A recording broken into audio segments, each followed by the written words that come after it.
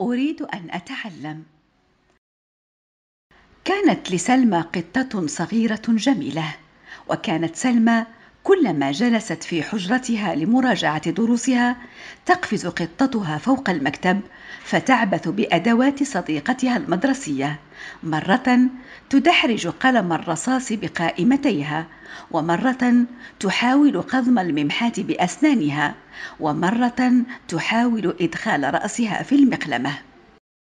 وذات صباح بينما كانت سلمى تستعد للذهاب إلى مدرستها رأت قطتها قد حملت على ظهرها محفظة صغيرة وضعت فيها أقلاما ومسطرة وكراسة سألت سلمى صديقتها إلى أين أنت ذاهبة يا صديقتي؟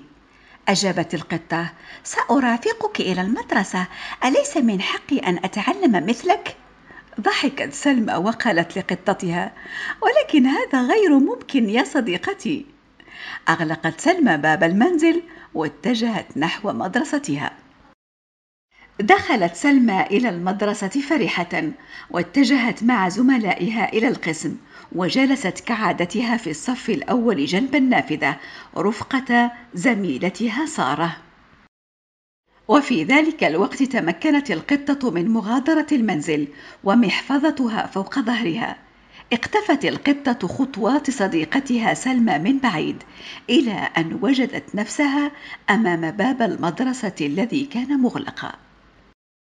وثبت القطة من أعلى السور القصير ثم راحت تبحث عن القسم الذي توجد فيه سلمى. لم يطل البحث إذ بدت لها صديقتها في الصف الأول جنب النافذة وبينما كان الأستاذ والمتعلمون منهمكين في الدرس إذا بصوت القطة ميو ميو ميو ينبه الجميع استدار الأستاذ نحو الصوت وقال ما هذا؟ عرفت سلمى بأنها قطتها قد تبعتها إلى المدرسة. ها هي تقف على حافة النافذة قرب مقعد سلمى التي بقيت مندهشة لهذا الموقف. نظرت القطة إلى جهة الأستاذ وقالت أنا هنا يا أستاذ. قال الأستاذ ولم أتيت؟ أجابت القطة وهي تطل برأسها من نافذة القسم أتيت لأتعلم.